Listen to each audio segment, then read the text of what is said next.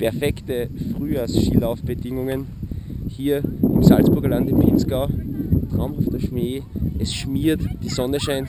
Salbach Hinterglemm AT heute zu Gast auf der Schmittenhöhe bei Zell am See. Wir müssen auch hier mal schauen, wie die Pisten sind, damit wir wissen, wie es hier so zugeht. Es sind herrliche Bedingungen. Da hinten Skizirkus Salbach Hinterglemm, auch herrliche Bedingungen. Naja, dann fahren wir jetzt weiter und wir sehen uns noch auf der Hütte. Servus.